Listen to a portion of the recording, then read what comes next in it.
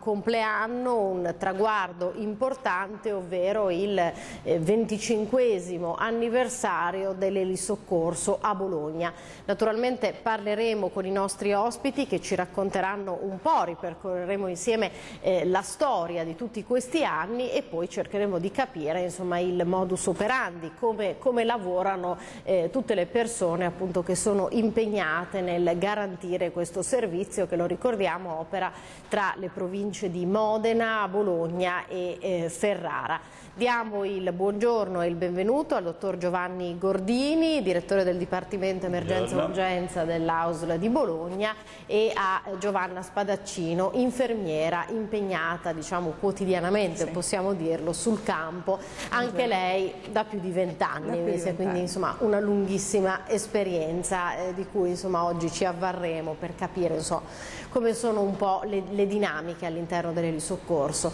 Cominciamo con lei, dottor Gordini, un uh, compleanno importante, era il 14 giugno del 1986, andiamo un po' indietro con la memoria e cerchiamo di, di capire che cosa è successo quel giorno. Sì, andiamo un po' indietro, domani saranno appunto 25 anni, era il periodo in cui il sistema di emergenza bolognese, emiliano-romagnolo stava certamente crescendo, si stava sviluppando. Forse all'epoca l'elicottero poteva sembrare perfino una cosa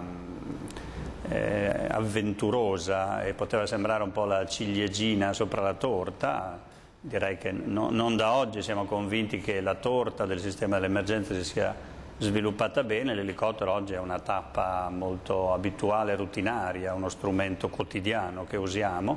eh, per poter fare in modo che i pazienti in tutte le zone della provincia, non solo della nostra, ricevano rapidamente l'equipe di soccorso più adatta per riuscire poi a seguirli bene sul posto e a portarli nella rete ospedaliera. È stato il primo elicottero ad alzarsi in volo in Italia oppure... Beh, è stato uno dei primi, quella era un'epoca in cui c'erano diverse sperimentazioni, la primissima fase, quella che appunto partì il 14 giugno, fu una prima fase sperimentale che poi fu, fu confermata, anche Ravenna negli stessi mesi partì con una sperimentazione, un anno dopo partì poi il servizio rutinario,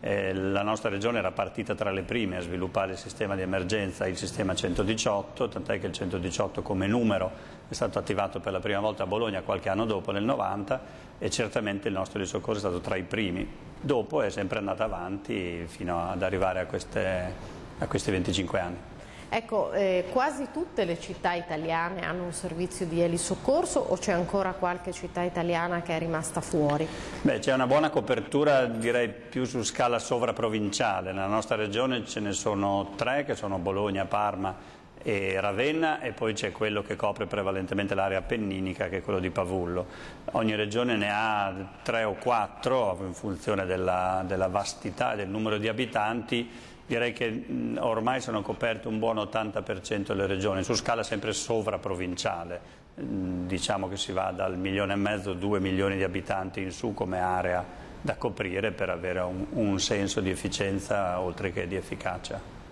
Ecco, eh, parliamo invece con eh, la nostra infermiera Giovanna che insomma, da più di vent'anni, mi sembra di aver capito, presta la sua opera al eh, servizio 118. E lei innanzitutto che ruolo ricopre e eh, diciamo, come si svolge una giornata tipo di lavoro? Allora, il mio compito diciamo, è duplice. Io ho un ruolo in centrale operativa 118, cioè filtrare le chiamate e gestire l'emergenza con l'invio dei vari, dei vari mezzi a seconda della necessità individuata, per cui dall'ambulanza che noi definiamo basic all'elicottero che per noi è avanzato come soccorso e eh, l'altro ruolo è quello che, ha, mh, mm, che svolgo all'interno del, dell'equipe dell'elicottero come coordinatore di volo sanitario e quindi ecco, quello è un ruolo che eh, per me è molto importante, eh, è un ruolo di operatività in cui eh, oltre a gestire le telefonate, scusate, gestire le comunicazioni radio,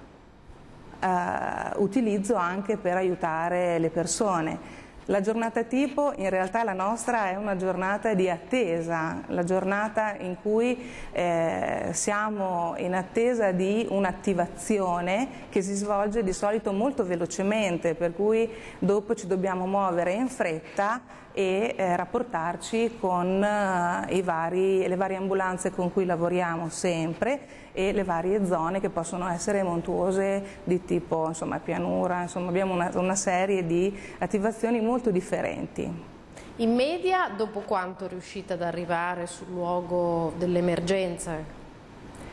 E noi insomma su Bologna e provincia possiamo avere da 4 minuti di attivazione per intenderci nella zona sud eh, sopra so, Monte San Pietro, Monte San Giovanni di Bologna a un 25 minuti le zone ferraresi, le zone un pochino più lontane, 20-30 minuti, insomma su quelli che noi definiamo interventi primari. Poi va bene, ci sono gli interventi secondari che sono i trasporti da ospedale a ospedale di pazienti critici che necessitano di un'equipe avanzata e per cui quelli abbiamo anche dei tempi più lunghi, arriviamo anche all'ora di volo.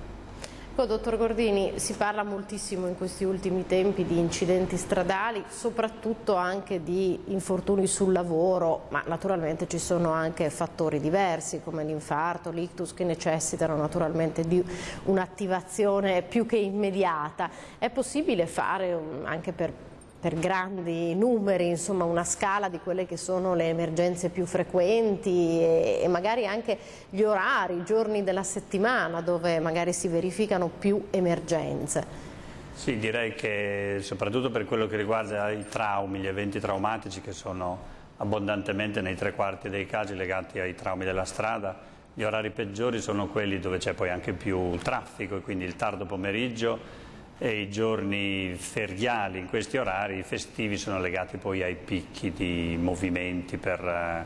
attività diciamo, di vacanze eccetera. E, mm, è importante anche l'attività dell'elicottero come diceva lei non solo per la traumatologia ma anche per guadagnare tempo per quei pazienti che hanno magari malori che possono in una prima fase essere identificati come malori, poi si capisce che alle spalle possono avere un infarto o comunque un dolore cardiaco, diciamo, oppure invece ictus, quindi perdite di coscienza, sindrome neurologiche, perché attraverso il sistema che è in grado di mandare e l'ambulanza e l'elicottero poi si riesce a portare il paziente rapidamente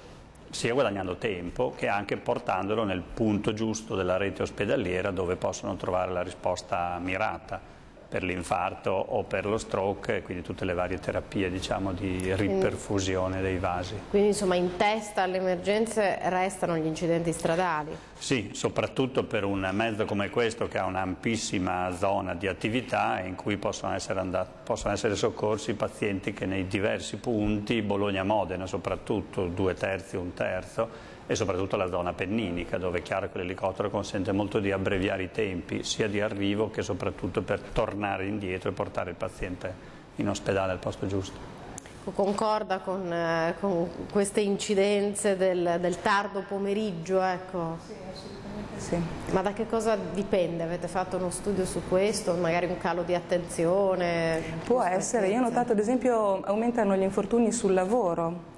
eh, come statistica, per cui probabilmente eh, la persona è già con la testa da un'altra parte, si distrae e quindi eh, capita più di frequente che si facciano male durante il lavoro.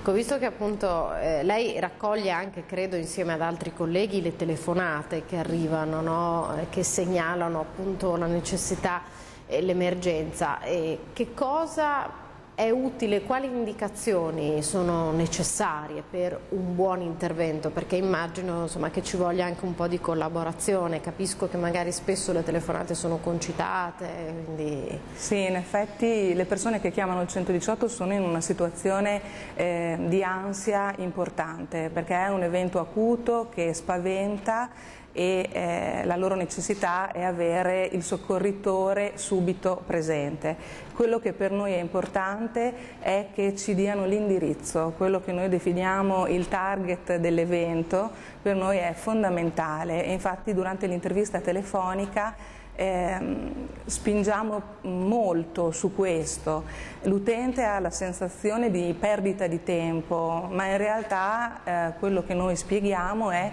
che finché non riusciamo a capire bene dove si trova e soprattutto per l'invio dell'elicottero ad avere punti di riferimento visibili dall'alto, che possono essere un campo sportivo, eh, il campanile di una chiesa, eh, noi restiamo al telefono con la persona Contemporaneamente però una volta avuto l'indirizzo ci sono altri infermieri che inviano l'ambulanza, quindi questa perdita di tempo in realtà non esiste. Dopodiché una volta individuato l'evento passiamo a quella che viene definita l'intervista sanitaria, cioè cercare di capire bene che cosa sta succedendo ed eventualmente supportare la persona che è in difficoltà dandogli consigli che possa mettere in atto compreso il massaggio cardiaco, la ventilazione in casi proprio più acuti. Capita più di frequente che siano magari parenti a chiamare o proprio la stessa persona riesce magari a parlare con voi? No, molto di frequente chiamano parenti o per incidenti stradali gli astanti. È difficile riuscire a parlare con eh, la persona coinvolta nell'incidente o la persona che sta male. Sono le persone che circondano che eh, si prendono questo tipo di responsabilità e collaborano insomma, con noi. Com'è la, la, percentuale di collaborazione, dottor Gordini? È buona? Cioè la gente riesce a rispondere? C'è un po' di, di, di Sì, direi che nel tempo è andata migliorando, questo è uno degli effetti di un eh, sistema che ormai è consolidato in questa città, in questa regione da molti anni, mentre all'inizio fu fatta anche una campagna di informazione alla popolazione, non solo per usare il 118 ma anche per dare le giuste informazioni Oggi un po' anche perché la tecnologia è cambiata, moltissimi chiamano col cellulare, quindi si ripetono molte chiamate magari per lo stesso evento, mm, però la gente ha un po' più l'abitudine a capire che appunto, come diceva prima eh, Giovanna, deve da un lato spiegare bene dov'è e dall'altro lato poi nelle fasi immediatamente successive a noi serve capire quali sono i problemi aperti, diciamo, quindi per un trauma come si è verificato il trauma di per sé alcune cose accendono le spie della massima urgenza per noi, se una caduta dall'alto, se la bicicletta, eh, se il paziente era su una bicicletta, su un motorino ed è stato proiettato, quindi ci sono alcune modalità con cui il trauma si è verificato che ci spingono a mandare questa o quell'equipe, nel caso sia fuori Bologna, a usare l'elicottero. Ecco, prima l'infermiera diceva appunto che ultimamente sono molti casi di motociclisti. Sì. In effetti eh, a primavera come cambia il tempo, le giornate di sole e le giornate festive portano i motociclisti soprattutto nella zona eh, montuosa della Futa, sì, della Futa. Ecco, ad andare in moto e andare in moto abbastanza velocemente e quelle curve sono pericolose e quindi con l'elicottero lavoriamo come, da un punto di vista numerico molto con motociclisti coinvolti in incidenti stradali. Ecco, dottor Gordini, vediamo qualche numero che avete a disposizione, magari riferito a questi ultimi mesi, ecco, che può sì, esserci la... utile. Certo, l'attività diciamo, negli ultimi anni si è stabilizzata proprio perché bene